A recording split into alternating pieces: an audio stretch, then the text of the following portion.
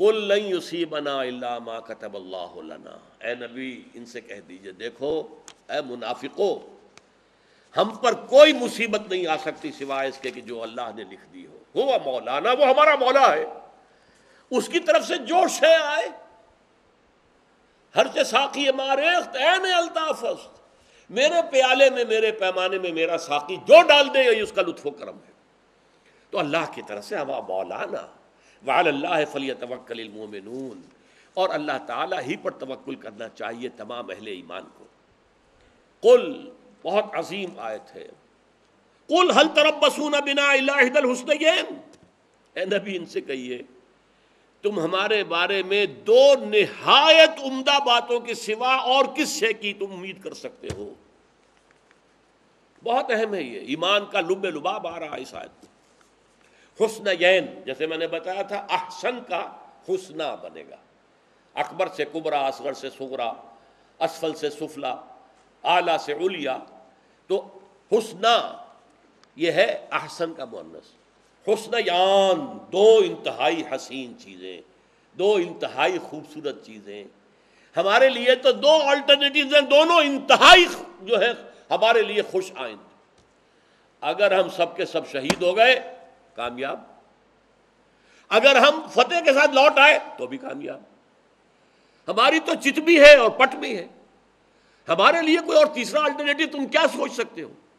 کل حل طرف بسون بنا اللہ الحسن ہماری تو ادھر بھی ادھر بھی فتح ہی فتح ہے، کامیابی ہی کامیابی ہے۔ شہادت ملے، سب سے بڑی کامیابی، فوری کامیابی۔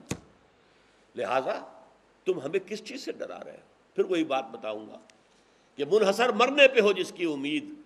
نا امیدی اس کی دیکھا چاہیے۔ جو مرنے کے لیے آبادہ ہے، جو موت کو خوشائند ہے، نشان مرد مومن باتوں کو جو مرگ آیت تبسم مطلب اس ایک مرد مومن کی نشانی یہ ہے، جب موت کا وقت آتا ہے، اس کے ہونٹوں پر مسکراہٹ لہذا موت جو ہے، اس کے لیے کوئی خوفناک شے ہے ہی نہیں۔ وہ نہ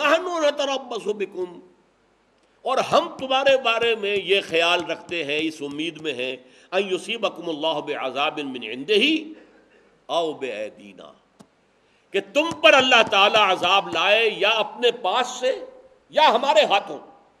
کہیں ہمیں اجازت مل جائے کہ تم قلا کما کر دیں اور تمہیں ہم جو ہے ٹکڑے ٹکڑے کر دیں۔ یہ بھی ہو سکتا۔ جیسے مشرقین کے بارے میں آ گیا فخت ہے سو وجہ اگرچہ نوبت نہیں آئی۔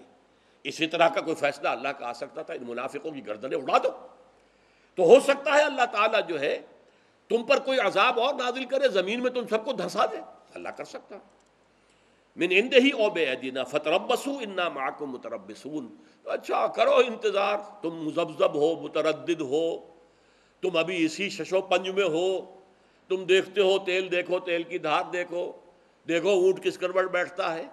تو اب فتربسو انا معکم متربسون تو ہم بھی تمہارے ساتھ متربس ہیں، ہم بھی انتظار کر رہے ہیں، اللہ کا فیصلہ کب آتا ہے؟ اور کب اللہ تعالیٰ کی طرف سے ہمیں اجازت ملتی ہے تمہارے خلاف جہاد کرنے کی؟